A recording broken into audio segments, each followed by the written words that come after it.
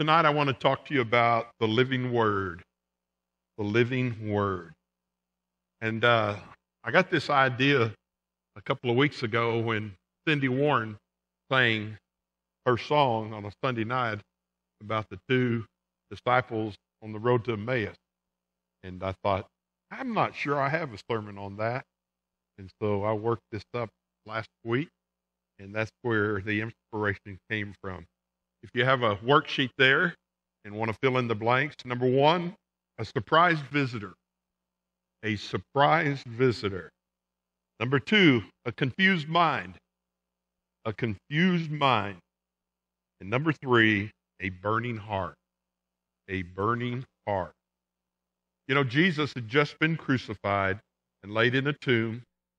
These two disciples had not witnessed any resurrection or sighting of Jesus. They decided to go home and they were disappointed. They did not believe that Jesus was alive because they hadn't personally seen him. They had hoped that Jesus would redeem Israel and rule in Jerusalem. Many Christians get discouraged when God doesn't do what they want, want him to do. They had witnessed what Jesus could do, but they didn't understand that suffering was a part of God's plan. Let's look at this wonderful story of Jesus showing up and explaining truth to these two disciples. The living word, a surprise visitor. Luke 24, verse 13. And behold, two of them were traveling that same day to a village called Emmaus. You have to understand, you know, most of the traveling in those days, they walked everywhere they went, which was seven miles from Jerusalem. And again, depending how fast you walk, you know, it could take as little as a couple hours. But normally, when you're walking or strolling and talking to someone, uh, it could even take longer than that. And they talked together of all the things which had happened. And of course, you know, the whole story, and, and you have to realize uh, this, this was the day uh, after. This, this was after Jesus. I mean, he just rose. This was the Monday after Sunday. So everything was fresh in their mind. And all that went on Jesus was the talk. Uh, his crucifixion brought literally thousands of people uh, to Jerusalem.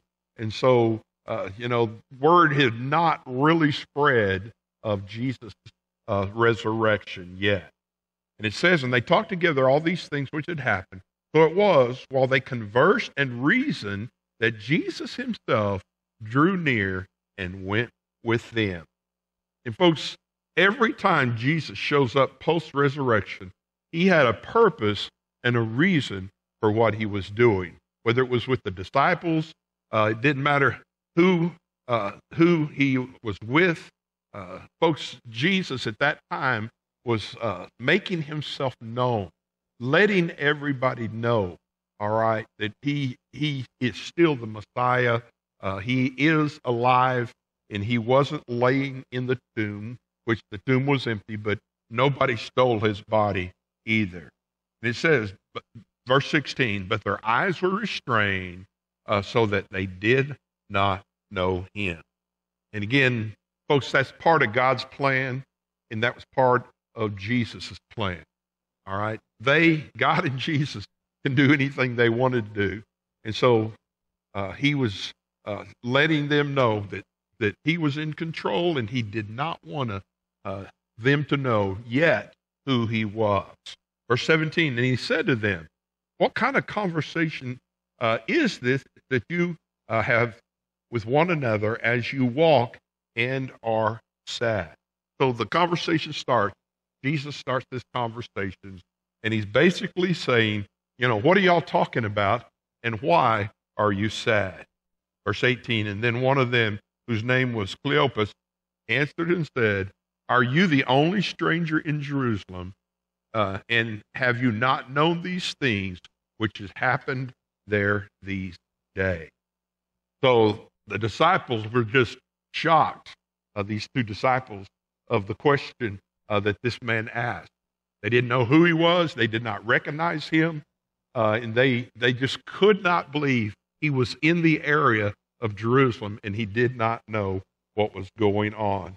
And folks, You know, sometimes I, I, I think uh, God and Jesus has a sense of humor because, you know, when you think about Jesus, obviously because it happened to him, he knew what was going on, but he was making a point for these two disciples. Hold your finger there and go to Psalm 139 with me. Psalm 139. Psalm 139. Look at verse 1. O Lord, you have searched me and you know me. Folks, Jesus knew everything about these two men. You know my sitting down and my rising up. You understand my thought afar off. All right, it's not that he reads minds, okay? I, I mean, not like he's a fortune teller. Do not mistake that there. He just knows everything about you. And I, I think sometimes if we thought about that thought, you know, because cause there's times, I know if you're like me, every once in a while, random stuff just pops in my head. And what I have to do is I have to say, I reject this thought in the name of Jesus Christ. All right? Uh, it's, it's just random thinking sometimes. Things that you, and sometimes I even have dreams. I had one the other night of someone that I have not seen in 40 years. Had no idea what the trigger was uh, in all that. So I understand we can't control all of our thoughts, but we need to try our best to discipline our minds so that, uh, you know, Second Corinthians says that every thought comes under the obedience of Christ. Verse 3 You comprehend my path and my lying down, and are acquainted with all my ways. He knows everything about us. For there is not a word on my tongue, but behold, O Lord, you know it all together. And you think your, your thinking starts in your head, but the truth is, Proverbs tells us it starts in your heart. Okay, so he knows your heart, he knows your head, he knows where you're at, he knows what time it is, he knows he knows everything about us. You have hedged me behind and before and laid your hand upon me. Such knowledge is too wonderful for me. It is high and I cannot attain it. So we know God is in control. Jesus knew everything about these two. And then it says, Where can I go from your spirit? Or where can I flee from your presence? Look at verse 8. If I ascend into heaven, you are there. And of course, we know that. We know that's where God is. That's the abode of God. That's where Jesus lives. If I make my bed in hell, behold, you are there. Folks, He knows everything. He knows every thought. He knows everywhere we go. It doesn't matter if it's dark or light. If I take the wings of the morning and dwell in the uttermost parts of the sea, even there your hand shall lead me, and your right hand shall hold me. So, you know, I love the assurance of this particular verse, verse 10. Folks, there is no place I can go. There is nothing that I can do. There's no harm that can come to me because I am protected. Now, again, I understand there's accidents. I understand, you know, people rob people and all that. But God is there with us no matter what we are doing, no matter where we're at, no matter where we're going, God is with us. If I say, Surely the darkness shall fall on me, even the night shall be light about me. Indeed, the darkness shall not hide from you, but the night shines as in the day, and the darkness and the light are both alike to you. What are they saying? When we're in the dark, we can't see. All right? God sees everything. Doesn't matter what time, doesn't matter if it's dark, doesn't matter if there's no moon up there. God sees everything about us. So we see Jesus was a stranger to these guys, but Jesus knew these two guys, knew where they were going, knew what they were thinking, knew the lesson that he was going to get over to them. So we see a surprise visitor. Verse two, or number two, a confused mind. And he said to them, What thing? Which again, I think it's almost humorous that Jesus would say this because he knew everything. He knew the story that they, they were going to tell, but he wanted to hear it from them. he said to him, The things concerning Jesus of Nazareth, who was a prophet, mighty in deed and word before God and all the people. And again, they describe Jesus, uh, you know, of Nazareth. But I think the next part was a prophet. And again, a prophet in those days were, were held in high esteem. But folks, Jesus was more than a prophet. He was the Son of God. And, and a lot of times, even in the Old Testament, you know, you, you would, you know, look at miracles that oh, that Old Testament prophets would do. And there was a high esteem, there's high respect for a prophet. But folks, you and I know Jesus was much more than just a prophet. And he and it says, mighty indeed, they had probably witnessed some of the miracles, possibly the feeding of the 5,000, possibly, you know, uh, you know, uh, other things of Jesus healing folks and word before God and all the people, and how the chief priest and, and our rulers delivered him to be condemned to death and crucified him. But we were hoping that it was he who was going to redeem Israel. Now, here you see the first point in what Jesus was trying to get across the point to them. The word hoping. Okay? So, what does that tell you? They did not believe that Jesus was alive, and they, they in their words, did not believe that, that he was the Messiah, that he was going. Because, folks, he is going to redeem Israel. He he is, and, and when we use the word redeem, he, he gave his life as a ransom for many. But we were hoping that it was he who would redeem Israel. Indeed, besides all this, today is the third day since these things had happened. So the third day had come. In, in you know, to their knowledge that Jesus had not been seen, Jesus was not alive, they did not have the proof uh, that they felt like they needed. And yes, certain women of our company who arrived at the tomb early astonished us. Okay, they told the story. But, folks, if they did not have hope, then they did not believe what these women were saying. Okay? And it says, And when they did not find his body, they came saying that they had seen the visions of angel who said he was alive. And certain of those who were with us went to the tomb and found it uh, to be just as the woman had said. The, the tomb was open. You know, the, the wrappings were there. Jesus' body wasn't there, but they did not see then. See, but but him they did not see. So what is, what's the whole deal? What's what is he trying to get them to understand? Where's your faith? Okay? Jesus told the disciples, Jesus told crowds, listen, I'm going to die, and after three days, I'm going to rise. And how many times you think in the gospel that Jesus told the 12 apostles that this was going to happen? Okay? And, and examples of, of faith and uh, examples, you know, the one that we think of a lot of the time was when they were out on a boat and they woke Jesus up and they just said, Hey, are you just going to let us die? You know, you're going to let us, you know, shipwreck and die? And what did he say to them? Where's your faith?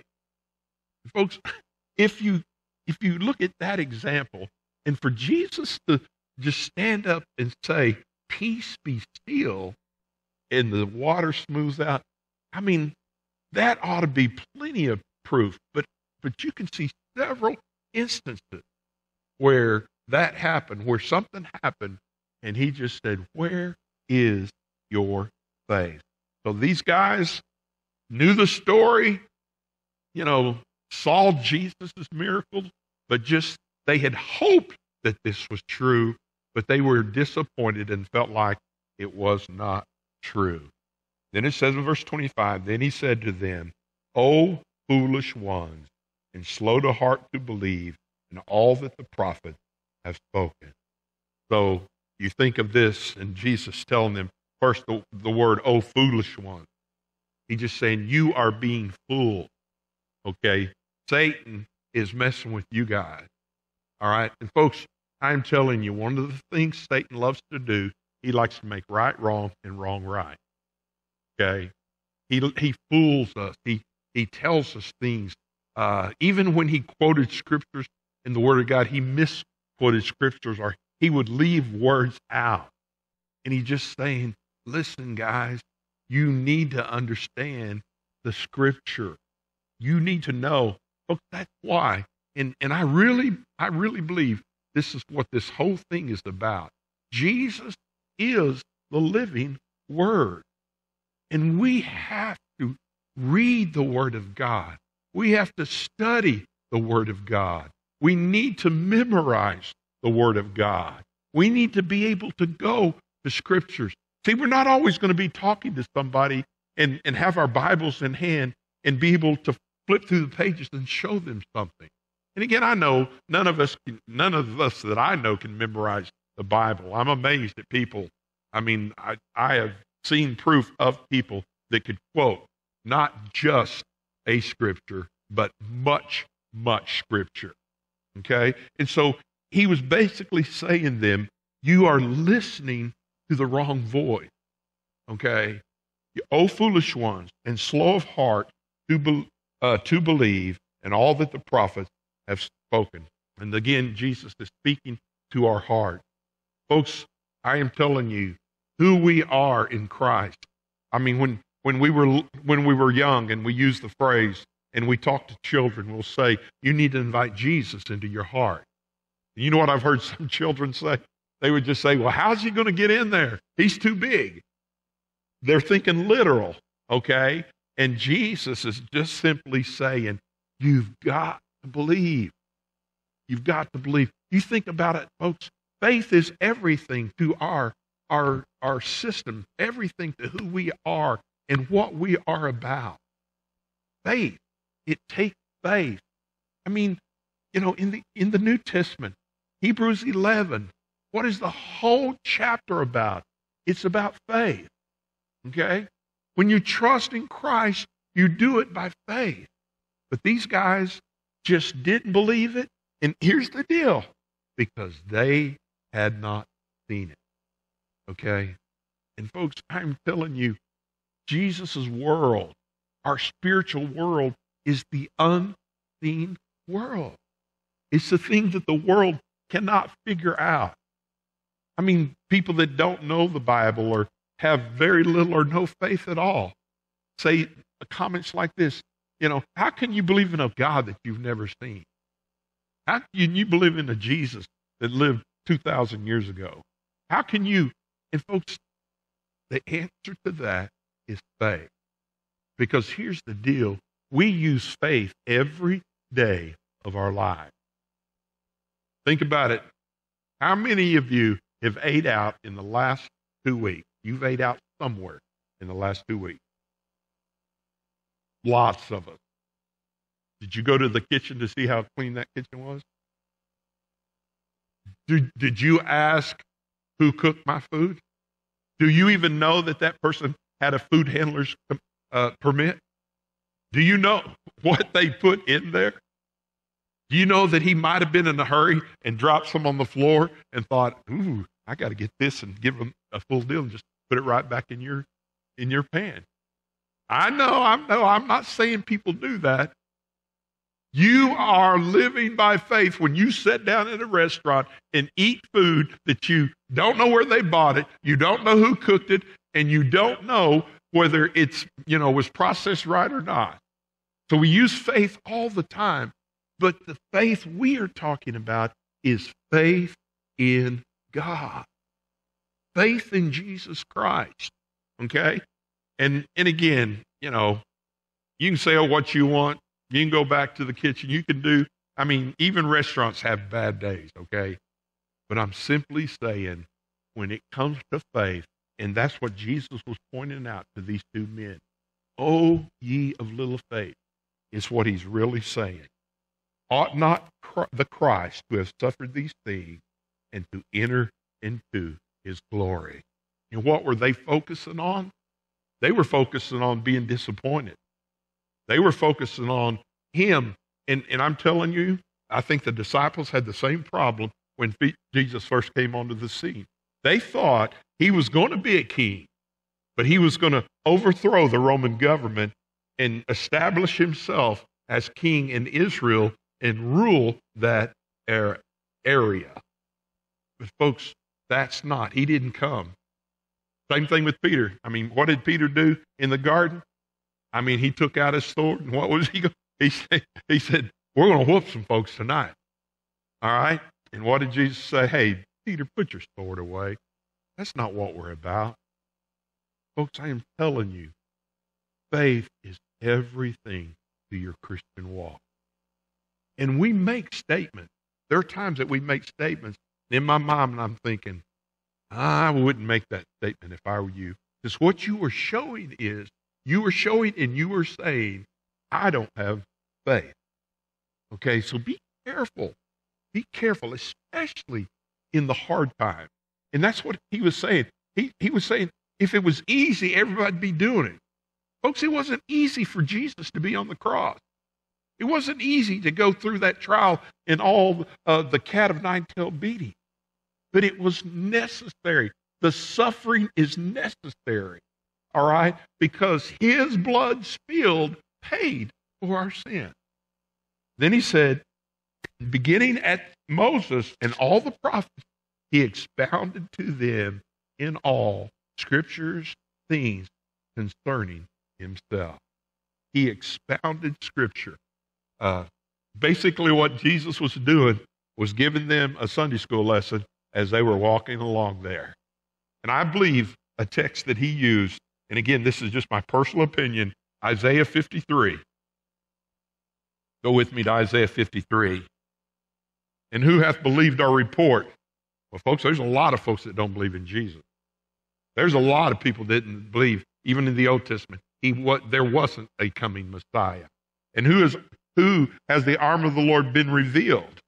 For he shall grow up before him as a tender plant, as a root out of the dry ground. He had no form of comeliness, and when we see him, there's no beauty that we should desire them. What is all that describing? The outward characteristic of Jesus. Folks, you cannot judge a book by its cover.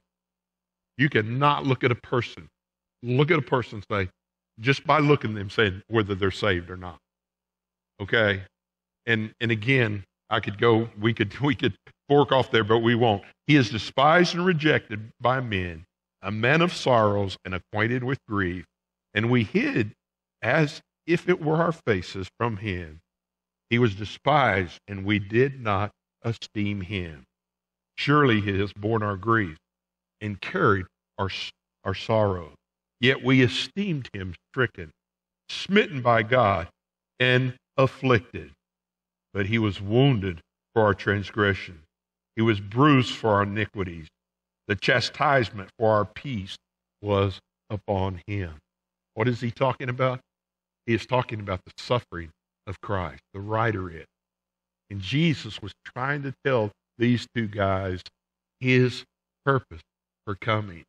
It wasn't to overtake the Roman government, it was to die for our sin. And by his stripe we are healed.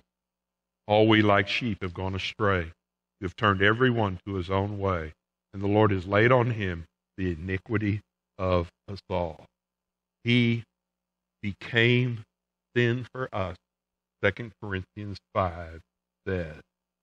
He was oppressed and he was afflicted, yet he opened not his mouth. He was led as a lamb to the slaughter, and as sheep before the shears is silent. He opened not his mouth. Folks, I believe with all my heart, and I love the song, he could have called 10,000 angels. He could have come off that cross. He could have wiped out everyone in that courtroom if that's what he came to do. But he didn't come, you know, to, for war, okay? He came to die for you and I. He was taken from prison and from judgment. And who will declare his generation? He was cut off from the land of the living, and for the transgressions of my people he was stricken. And they made his grave with the wicked, but with the rich at his death, because he had done no violence, nor there was any deceit in him. He was the only person that started in heaven and came to earth and went back to heaven. If you were in heaven and you had an assignment and, and, and you needed to go to earth, I'm telling you, the day in which we live now, I, I would have been, oh, I'm not sure y'all want to do that. Because Jesus knew he came to die. I mean, most of us, we, we spend most of our life trying not to die. Not that we shouldn't want to die, but I'm just telling you, Jesus knew when he left the abode of God that he was going to die. Yet it pleased the Lord to bruise him. He has put him to grief. When you make his soul an offering for sin, he shall see his seed, and he shall prolong his days, and the pleasure of the Lord shall prosper in his hand. He shall see the labor of his soul and be satisfied.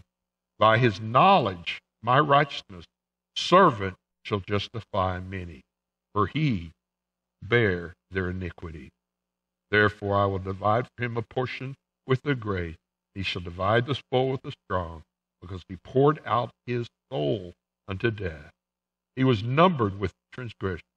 He was he bore the sins of many, and he made intercession for the transgressors.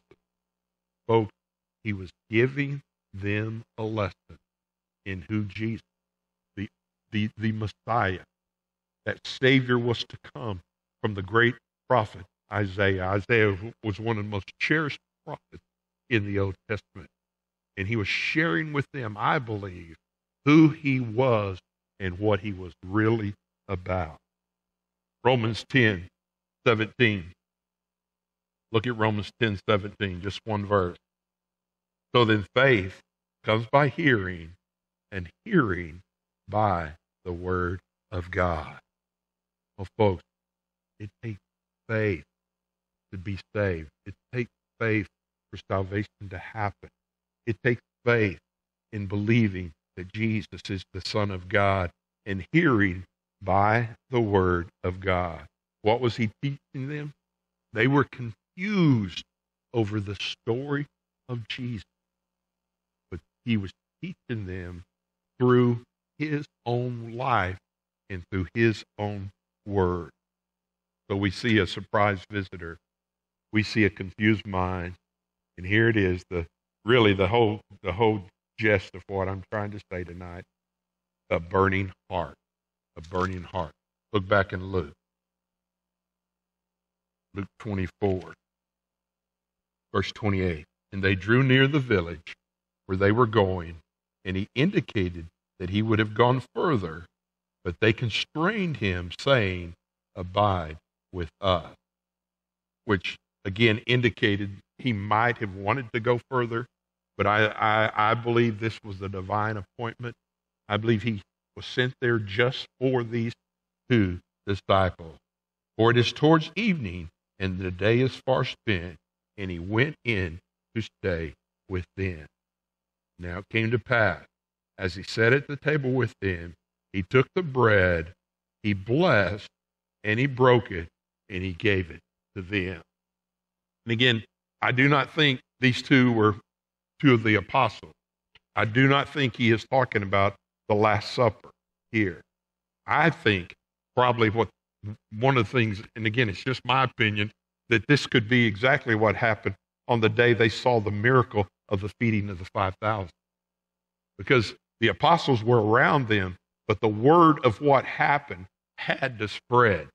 You cannot tell me 12 men and saw something like that happen didn't share that with people around them. Hey, it was five loaves and two fish, and it fed more than five. And when it says 5,000, folks, I believe it. They they numbered the men in those days, so it could have been 15,000 real easily. All right, and when he did that, when he showed that, because you remember, if you'll read the the deal, uh, you know, when he fed the 5,000, he blessed the food before he passed it out. So when he started blessing this meal, I believe the light went on in their head. All right? They realized and they finally was associating Jesus' miracles with what they saw with their own eye. And he gave it to them. And then their eyes were opened, and they knew him, and he vanished from their sight. I mean, he knew them. All right? It the light came on, and then he vanished. And folks, we know, you know, in those 40 days that he was there, he, he came and gone. He walked through walls, he walked through doors. All right. He he just he came, you know, even to the apostles, you know, those those apostles when they were in the upper room, and even Thomas said, you know, they were trying to say, Thomas, we've seen him, we've seen him, we've seen him. Oh, unless I unless I see it, you know, them nail scarred hands, unless I see that that that spear in his side, I will not believe. And remember what he told Thomas? Blessed are those who have had, who has not seen yet believe. And it says in verse 32, and they said to one another, Did not our hearts burn within us while he talked with us on the road and while he opened scriptures to us? Folks, the reason I entitled this The Living Word is because we're not going to talk with, we're not going to walk down a road and talk with Jesus. This is a biblical story. But do you know what we can do? This is the living Word. The Bible. Do you realize that you could spend time with Jesus every day of your life? And most of you probably do. But it's more than just reading. Okay? When you just read the Bible, you're not going to have burning in your heart. Okay? Yes, you are obedient. Okay? And yes, you need to read. I do every once in a while. Now, I don't do it every year, but every once in a while I do. I read the whole Bible through. But here's my problem with that. And it's not a problem problem. It's just you have to read so much scripture that we read fast and we don't comprehend what we're reading. And if if if you were I honestly believe if you could read four verses a night, and the biggest mistake we talk about the living word is we don't take time. We don't slow down. We're reading the Bible to conquer. And they said when Jesus was walking, our hearts were burning. And it wasn't just because it was the presence of Jesus, but it was also the presence of Jesus. They were walking with the living word. And that's what that's the difference in reading to conquer something and reading to interpret something reading it a second time to understand it. Sometimes reading it a third time so that you can just let it sink in to you, it, it, your heart, not just your mind, but your heart. So he opened the scriptures to us as he opened. So they rose up that very hour and returned to Jerusalem and found the eleven and those who were with them and gathered them together, saying, The Lord is risen indeed and has appeared unto Simon. Soon as they got back, the disciples were making that statement. Now look what they said, and they told and they told about the things that had happened on the road and how he was known to them in the breaking of the bread. In John, the Bible tells us that Jesus is the bread of life. I don't know if you like bread or not, but bread is one of my weaknesses. All right? I'll tell you another weakness. Potatoes weakness. they're not good for you. The physical part of that.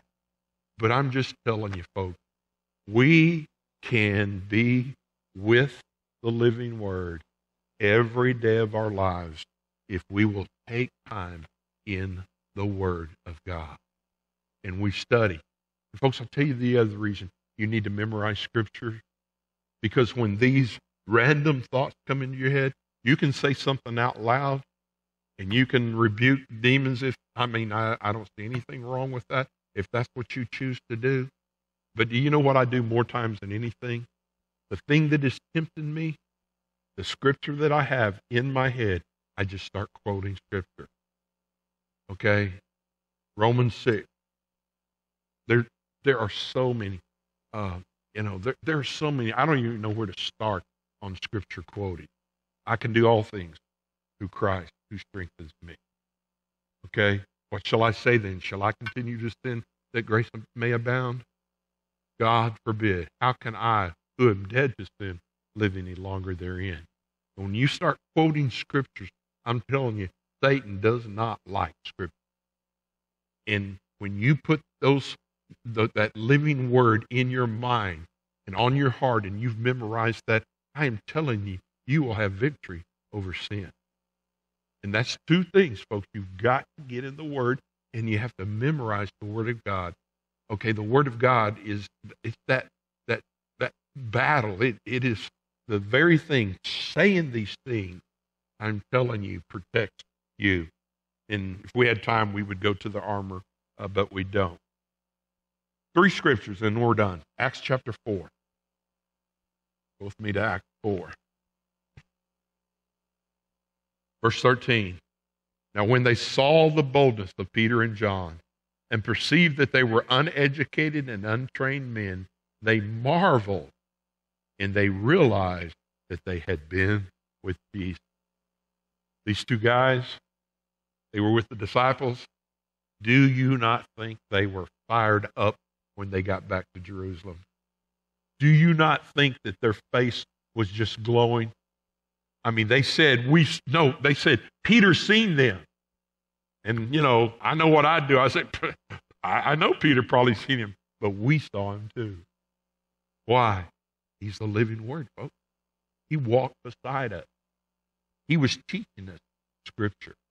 And folks, I am telling you, the key here is they realized that they had been with Jesus. The more of the word you get in yourself, you get in your soul, the more you will look like Jesus. The more you will act like Jesus. The more you will speak like Jesus. The more your thoughts will be like Jesus.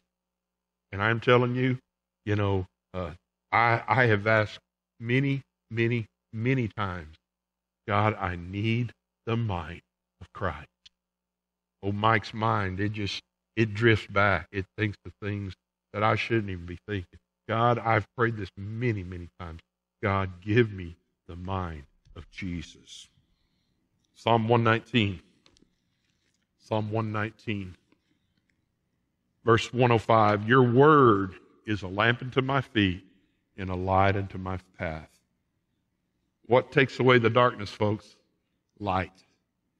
What is light? Man, Jesus is the light of the world. He is the light of the world.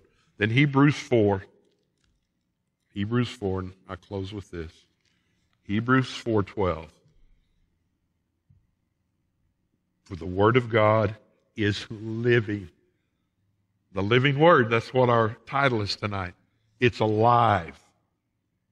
I, I, I really don't understand somebody that would read the Bible and I have heard this statement not very often, but I've heard some people say the Bible is boring.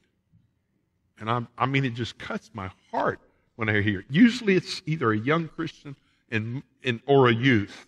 Okay, and I'm just telling you for me personally, I'm not picking on any any of those because they haven't they they haven't matured in Christ yet. Okay?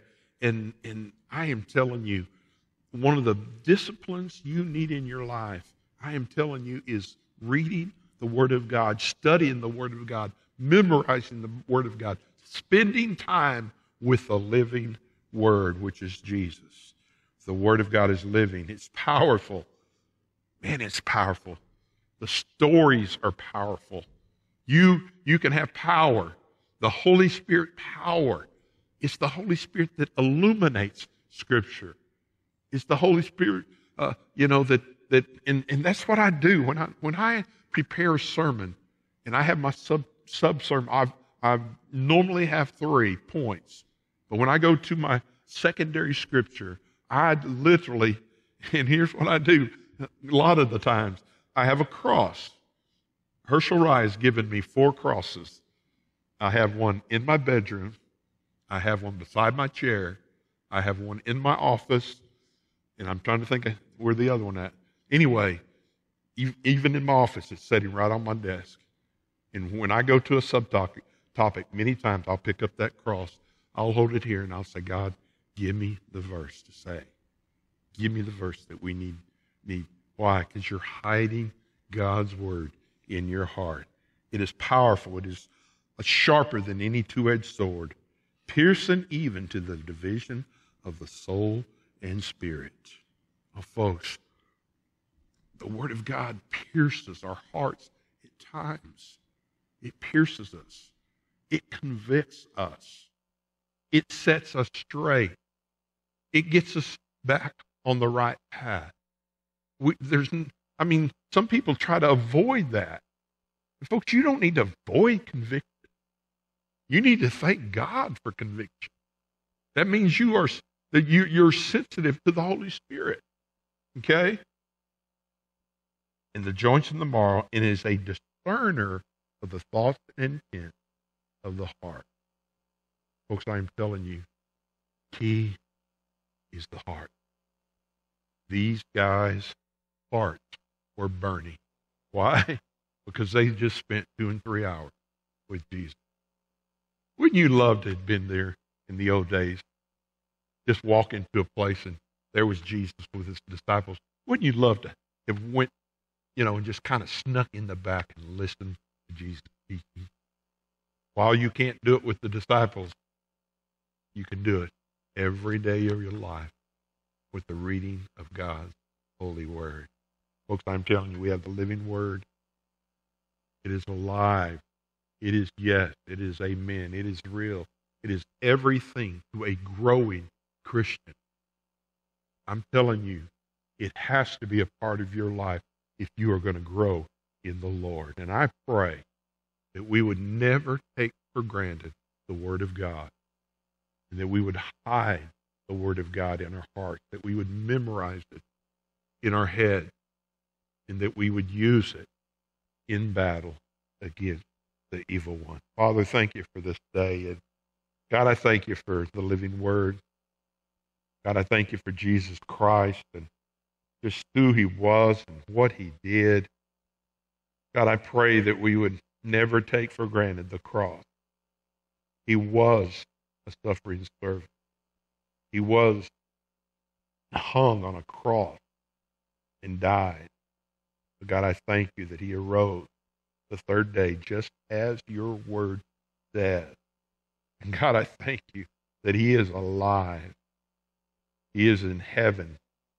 He is with God. He's at the right hand of God. And Lord, we look forward to seeing him in person again. God, I know uh, the Spirit of Christ was uh, with us when we were saved. But God, we are going to see him coming in the cloud, riding a horse, and taking back his church in. God, I thank you that you can give us those burning heart moments. I thank you that we can read the Word of God, and there's times that even when I read it, Lord, there's just tears in my eyes because you are burning a thought or you are convicting me of certain sins or you're you're just speaking to me through the word. God, I pray that we would have that personal time with you. God, I pray that we would uh, have that personal testimony ready. And God, I pray that we would share the gospel with others around us. God, we've got, you know, uh, the plan of salvation in our hearts and in our minds and in our Bible. And God, there are people that just need a saving knowledge of Jesus Christ. And God, I thank you that you have changed us. We are not the same since we have met the living Word. So, God, I pray that you give us divine appointments. And God, I pray that we would never doubt your word. Your word is true. It is yes.